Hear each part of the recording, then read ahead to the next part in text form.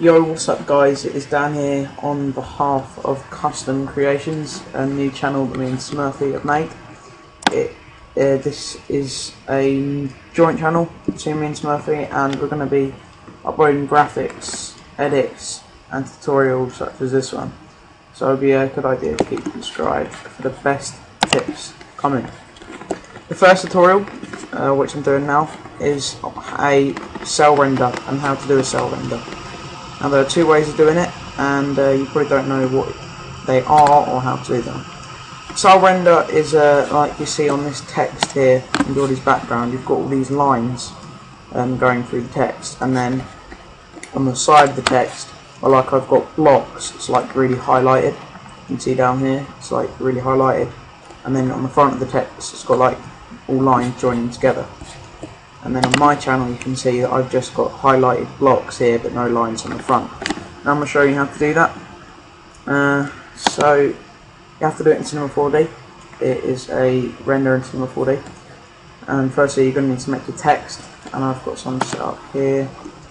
You're going to have to have fillet caps. I've got fillet caps at 1.5 each end.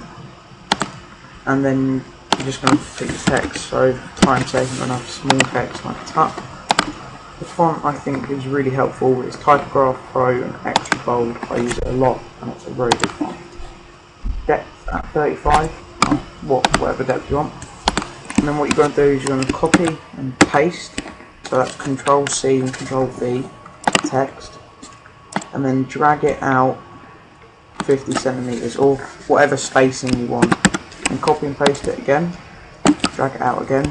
Copy and paste it again drag it out again, try and get equal spaces, and then copy and paste again, and drag it out again. And you just need to do as many blocks as you want, or as least blocks as you want, and it just really doesn't matter, but you need to get the best effect you want, and you know how to do that, not me. So now you've got your text, you can uh, sort out all your colours and stuff, which I'm not going to do for time's sake and once you've got your text perfect, ready, ready to render, you need to come to your render setting, which is up here. So firstly what you're going to do is you're going to render um, the text normally, so I'm going to put cell render tutorial and just render out the normal text as it would normally be. So just let this render out.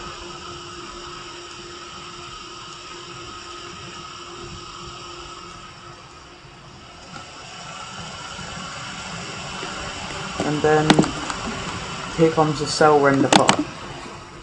You need to come to effect, cell render. Now what you need to do is you need to put your edge color to white and your background color to black. And now there's two, this is where you choose if you want lines on the front of the text like this or lines just on the side of the text like this. If you want lines just on the side of the text, like I have on my background, you need to choose outline, just outline. Don't tick edges, you need to just tick outline. So if you want it like me, you don't have lines on the front of the text. However, if you want it like Joy's background here, and you want lines on the front of the text which like make a kind of futuristic effect, then you need to tick edges.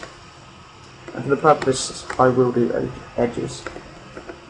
Once you've highlighted edges, you need to come to save, and you need to render out the text again, but have it, call it a different name, so I'm going to CR at the end, which stands for cell render. And then you render it out, and it will look like this.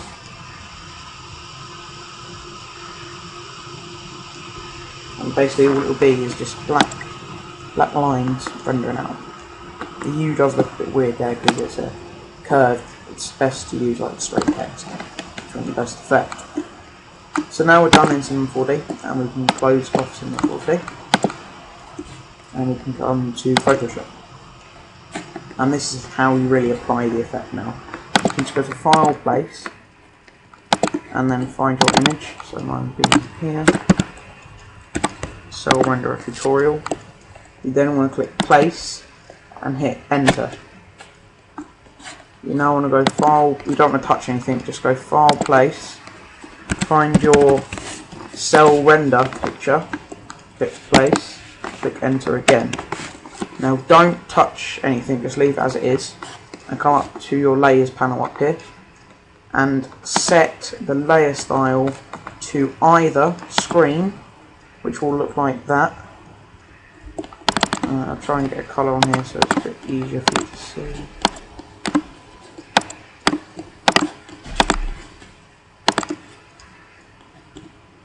No it won't work. Oh don't worry. Screen which looks like that. Or soft light which makes it really dark but still uh, gives a good effect. I normally only use screen. That's what I use on this and this. And uh, normally I turn the opacity down to about 70%. And that's pretty much it guys. You can just add all the effects you want to the uh, text and really thanks for watching and make sure you subscribe to us CustomCre8ions we hope to go far with this channel cheers i've been dan and i'm out